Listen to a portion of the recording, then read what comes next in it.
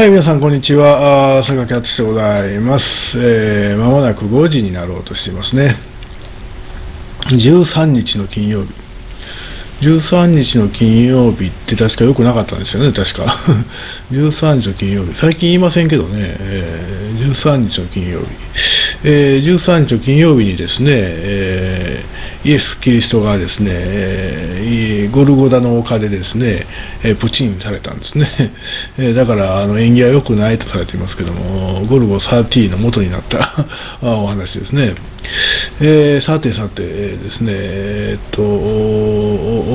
これ、G.com ですね。久々ですね、この系統の、もう半年ぐらいこうこの系統のニュースがなかったような気がするんですけど、えー、ドル債実質デフォルト、不動産市況を冷え込みで、えー、そう郵送中国という記事でございます。短いんで読んでしまいましょう。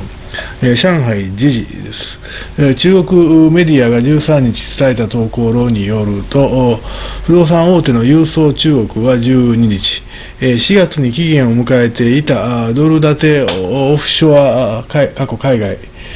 債の利払いの一部を30日間の猶予期限猶予期限内に履行できなかったことを明らかにした。実質的なデフォルト、債務不履行で、ロイター通信などによれば、不履行額は2950万ドル、過去約38億円。大したことないやんと思うんですけど、それくらい払えよと思うんですけど、それも払えなかったんでしょうかね。えー、郵送は不動産市況の冷え込みによる採算悪化に金融機関の貸ししぶりが重なり、えー、利払い原資が確保できなかったと説明しているということで、えー、この記事は終わっております。あの半年ぐらい前に再々申し上げたんですけども、あのお父さんのルールがですね中国と日本でだいぶ違うようでございます。え、日本では、え不当たり2回と、今手、今、あれでも手形ってあるんですかね。手形って今あるんですか？あなさそうな気しますけど、今どうやって倒産決めてるんでしょうね。デフォルトでしょうかね。デフォルトっても最近発行してない銀行ありますからね。誰かが破産を申し立てる、要はあの、え売掛債権とか払ってもらえなければですね、その払ってもらえない企業はですね、破産を申し立てるっていうことできますけどね。えー、それか、うん、手形を出していればね、手形が不当たりになるということでですね、それ2回目で確か銀行取引は停止になるわけですね。えー えー、でも今、手形というのを、私、昔、広告制作プロダクションをやっていた時にですね、えっと、もう今から13年ぐらい前に一応手仕舞いをしたんですけども、その頃にもうすでに手形なかったですね。えっと、どっかの会社が保証してくれるみたいな、そういう、こう、要は2%ぐらいの割引価格で先に払ってもらえるっていう制度があって、えー、それを使ってたような気がしますね。えー、まあ、まあ、ええけど。あの日本で仮にね、オフショア債でもですね、あの別に円建て債でもいいんですけど、デフォルトになったらもう瞬間、多分、倒産認定ですね。銀行取引停止ですね。銀行取引停止イコール倒産ですから、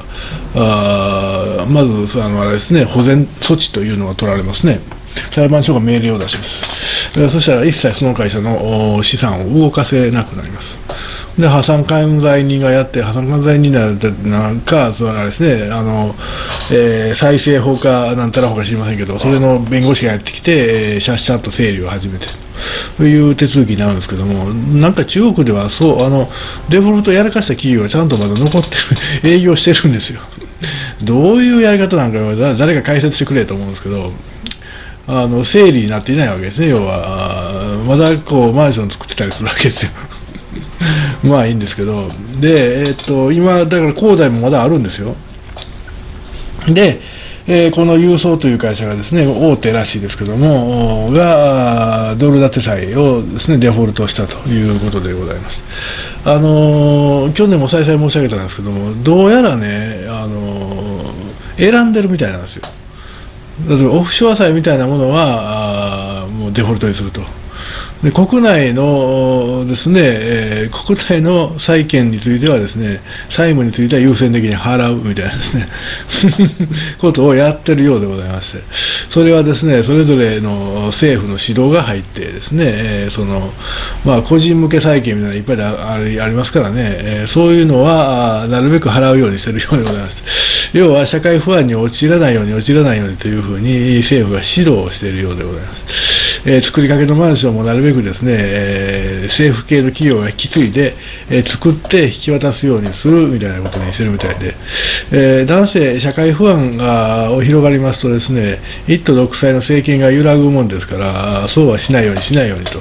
いうふうにやってるようではありますが、あのー、膨大な数のですね、あの、広大だけで1300箇所とかいう現場があるんですよ。日本府には1300物件を開発中なんです すごいでしょ ちょっと目がクラクラするんですけど頭クラクラするんですけどあの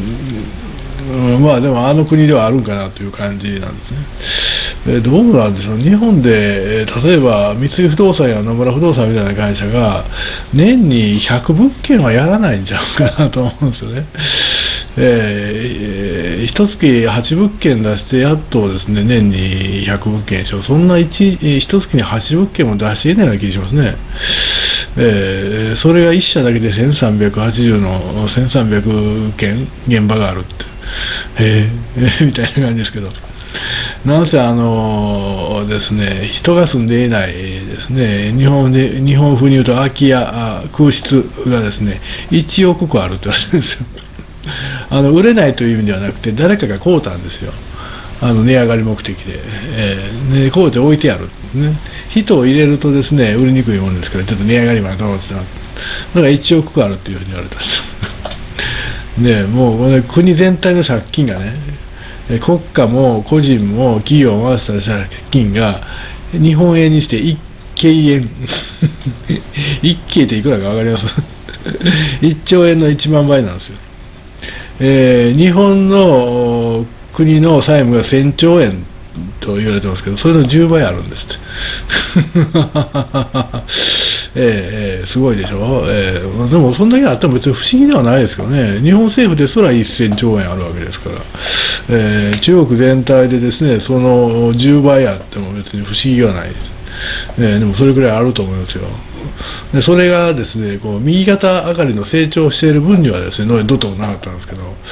えー、が止まりましてですね右肩上がりの成長があのただでさえ鈍っていたのがですね、えー、2020年のコロナで止まりましてですねで2021年、去年はなんとか成長軌道に戻ったんですけども、今年はですね、えー、去年の不動産バブル崩壊とですね、今年からですね、えー、オミクロンがですね、こう各地で蔓延して、ゼロコロナやってるでしょ。だから今年の経済成長は2020年の時よりも悪くなりそうな気しますけどね。あの不動産バブル崩壊してる上に上海が40日も封鎖しててですね他のところもいっぱい封鎖してるわけです、えー、だから2020年より悪くなってマイナス成長になると思いますけどね。確実にマイナス成長になると思います。もちろん政府が発表する数字は目標が5.5%の成長ですから中国政府は何としてもまあ4.4ぐらいは出すんちゃいますかね、えー、まあ望ましくは5.1とかでしょうけど。まあ、来年の1月に発表されるんですけど、多分それくらいの数字、4.8とか4.2とかで出すんじゃいますかね、せめて4%台は成長してることにしなあかんわけです。えー、ただ、もうその数値数、統計数字はですね、かなり信用できひんっていうのはですね、あの、世界中のエコノミストがですね、考えてることではないんかなと思いますね。えー、まあまあ、それはいいんですけど、えー、で、えー、世間はですね、中国の場合ゼロコロナでワイワイワイと湧いておりまして、で、えー、他はですね、浮くの話でですね、ワイワイと湧いておりますけども、中国の不動産バブルの崩壊っていうのは、あの、進行していたと。ゆっくりと、ゆっくりとかどうか知りませんけども、まあ、ちゃんときちんとですね、バブル崩壊が進んでいるということが、このニュースで分かりますね、ニュースを。まあ、あのさっき申しました通りこうハードランニングをなるべく避けようというふうに中国政府は考えているようですのでそのでかい倒産が、ね、伝えられたりとすることはないのかも分かりませんけどでもかなり難しい局面に来ていることは確かだと思いますね。でやっぱりほんでこの国内的にねそのあれですね、債券を買った人が大困りしてるとかいう話はですね、抑えられるんでしょうけども、抑えられるというか、我々の目にしないところで全部処理をされてるんでしょうけども、このドル建て債っていうのはどうしてもやっぱり、